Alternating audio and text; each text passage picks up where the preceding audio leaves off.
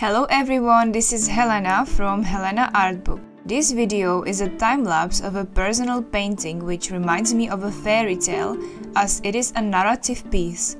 You will see and I will tell you what it is about later in this video.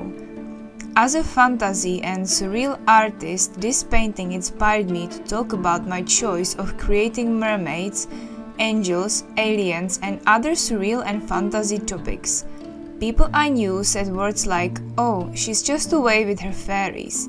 Oh, she must be thinking about her fairies. And of course, they said it with a sarcastic tone to state that I'm somewhere in the fantasy land, out of reality, not paying attention. Growing up, I always used to be a dreamer, being in my own world, as many people like to say. So now, there comes my art, which is literally a creation of my world, of me being out there with the fairies.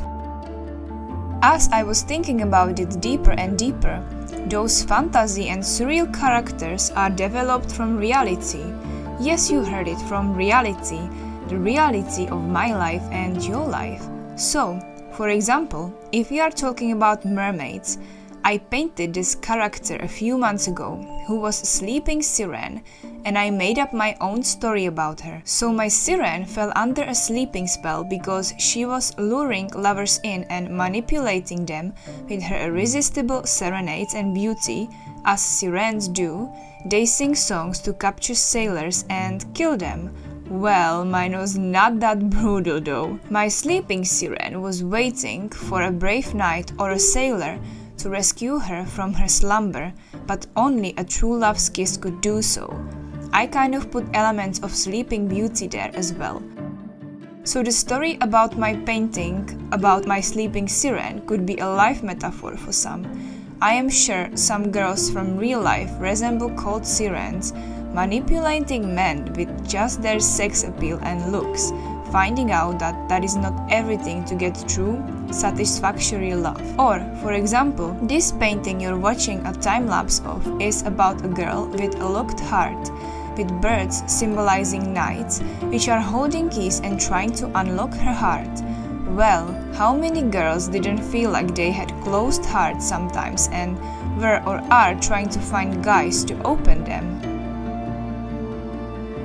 Some might say that fantasy art is some form of escapism, but to me, it is more about returning to reality. If you create this character that physically doesn't exist, it exists in your mental state though. It is the energy and essence of your emotions. You are giving life to your traumas.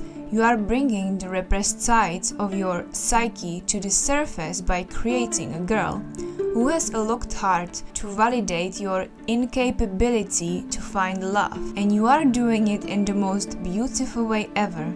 Your fairy tale is not just a fairy tale, it is a story about your own journey in life. Art says more than words can. I believe there's a truth to every fairy tale. For example, you could be a Cinderella, an unappreciated person who is always in the shadows. You don't have to meet a prince and move to a castle. However, you still have a chance to find true love in your life or come out of your shadows and shine. You could be a sleeping beauty who is quite unapproachable and then you will find a brave person who will find a way to you. Or you could paint a person fighting a dragon and the giant beast could symbolize your internal raging battles. Fairies to me are about softness and innocence, which are topics I like to explore in my paintings a lot.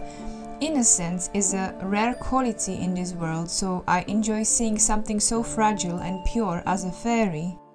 This is the whole reason why I love surreal and fantasy art, as you can paint your own emotions and give them life on the canvas.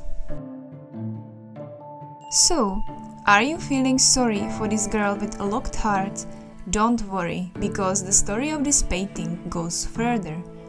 So the lady was slowly realizing that sadly none of those knights possessed the key to her heart and one day as she was enjoying herself in a sunny garden there was this tinkling in her pocket.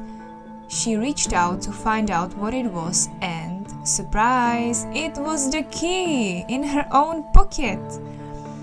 This painting is more or less about self love, as always trying to find someone who might possess the key to your core will most likely set you up for failure. It is your own heart after all, so why don't you look into your own pocket? Maybe it's going to be there, but only if you believe it. Before we wrap this up, I would like to share a poem I wrote about this piece. There once was a girl whose heart was locked. She often wondered whether it was made from rock. Once in a few years there was a knight possessing a key, hoping for once of all to set her heart free. Each one of the brave tried to mingle the lock. With the girl's despair, it seemed to be blocked. One happy day, to her pocket she reached. There was the key! Oh, All surprised, she preached. That was the story about the girl with a locked heart. She never again needed any knight, nor she let any of them dimmed out her light. So, we nearly reached the end of this video. I hope you enjoyed either the talk or the time lapse or both. If yes, please support me by pressing like or by subscribing to this channel as I will be posting more about my art here on YouTube. You can also follow me on Instagram as I put the newest updates about my art there as well. If you are interested in purchasing this piece, it is available in my shop, link down below. Until next time, and please remember to look into your own pockets, girls. Even boys. Bye!